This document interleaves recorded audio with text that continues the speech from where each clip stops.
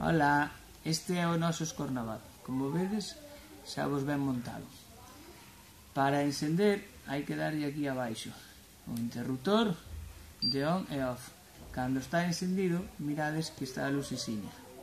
Vale, moitas veces está a lucesiña encendida, pero non ten suficiente forza as baterías e non camiña. Despois, hai que ter moito cuidado cas rodas, que é o que máis se fastidia cando se manipula. E sobre todo tamén con estes cables. Por eso collemos unha funda que temos por aquí. Esta funda e a poñemos ben pejadiña para que non teñan acceso a todo o cableado. Así. Vale. E despois o robot xa saben os nenos como funciona. Ten aquí os, o botón de dirección, xa é darlle para diante, para atrás, para dereita e para esquerda. Un aspecto moi importante a vigilar é o das pilas, que se lle acaba a batería moi rápido.